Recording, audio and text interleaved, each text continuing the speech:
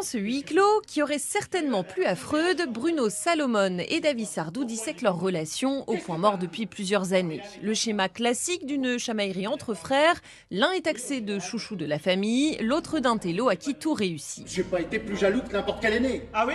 Qui disait à maman Tiens, on a qu'à le laisser dans la poussette dans le bus, on pourrait le donner? Dès qu'on devient trop complice, euh, c'est c'est pas bon pour la pièce. Il est éminemment sympathique, Bruno Salomon, mais en fait, non, c'est une ordure.